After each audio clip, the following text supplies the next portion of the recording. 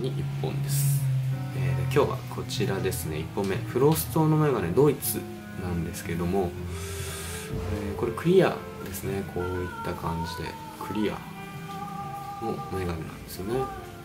でここに3つ穴が開いてるんですけど多分これここのスワロフスキーがもともとこっちにも入ってたのかなと思うんですけどまあこれ抜けてても抜けてたでなかなかね結構おしゃれな感じになってると思うんで。で鼻もこのように高さあのあります。高さあります。日本人でも大丈夫です。でカーブもそんなにないんでね。でこれかけるとこんなイメージになりますね。こんな感じですね。フロストですね。これ本当はねあの高いんですけどフロスさんは。